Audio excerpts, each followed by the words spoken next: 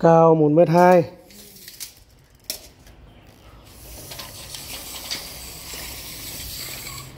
dài 4m ạ. À đâu? Cái bảng này cơ mà bảng à, đúng rồi. Đúng rồi đúng rồi dài 4m đấy. Cao mét 2 dài 4m chị ạ. Cao mét 2 dài 4m nha. Bảng trong.